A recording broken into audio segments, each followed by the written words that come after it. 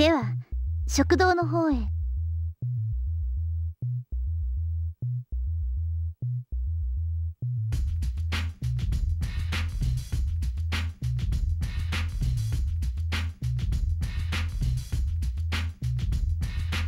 所長も食堂の方へいらしてください。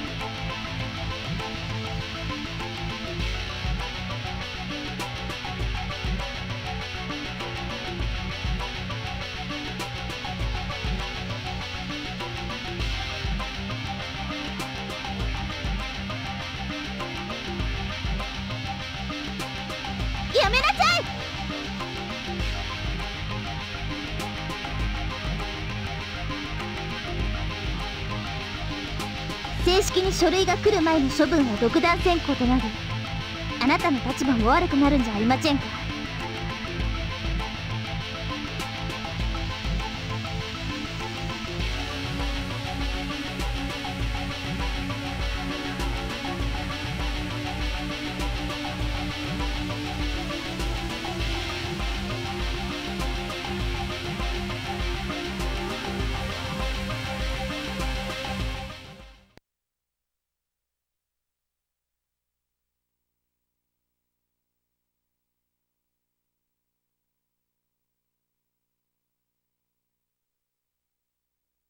多分この辺りに閉じ込められてるんじゃないかと思うんですけど。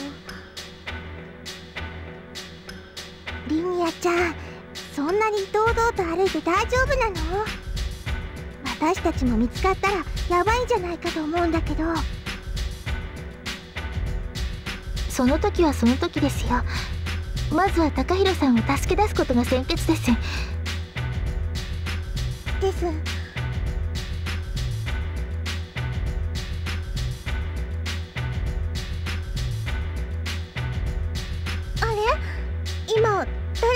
私の肩を触りませんでしたか？うん。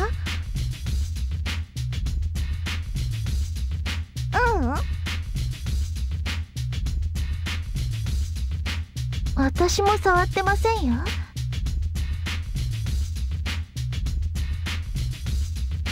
勝田さん？こんな時に悪い冗談はやめてください。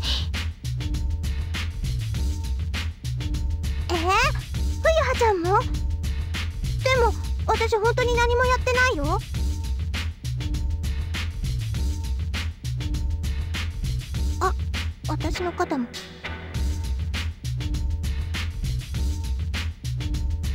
分かった。そんなこと言って犯人はリニアちゃんなんでしょう。それで誰の仕業とか言って背後霊とか言うの？リニアはそんなことしませんよ。じゃあ一体誰？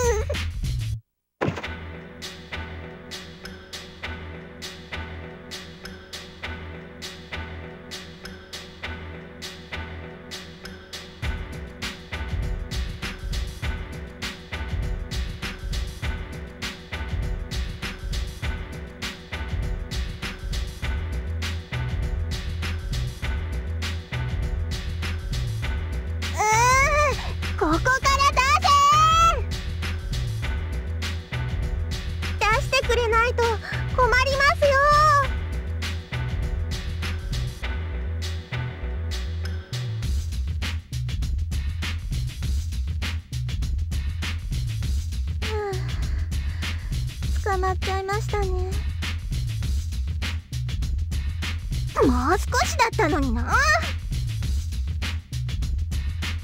高弘さんは大丈夫でしょうか？でもこれから無事でいられるかどうか。どうしましょう？そういえばどうして私たちは無傷で助かったのでしょう？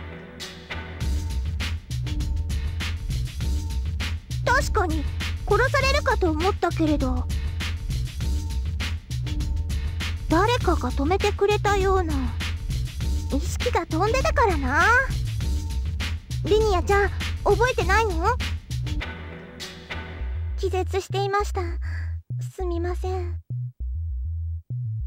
冬葉ちゃんは？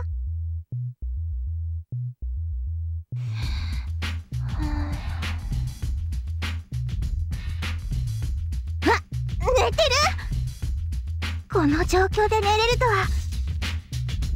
ある意味最強。すごいです。リニアちゃんここってリニアちゃんのメンテ室でしょ？どこかに抜け穴みたいなのないの？ないのです。あそっか。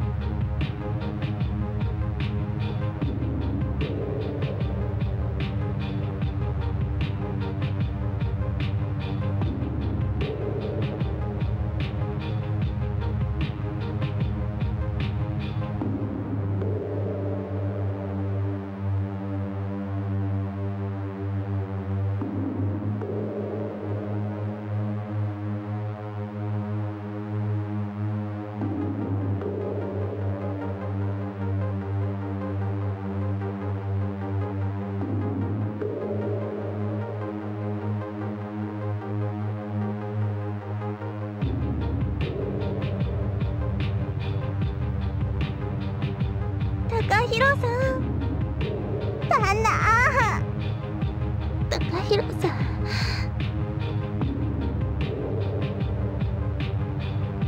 でも私たちは悔いなんてありませんよ。旦那と一緒に死ねるのなら本望だよ。私も同じ気持ちです。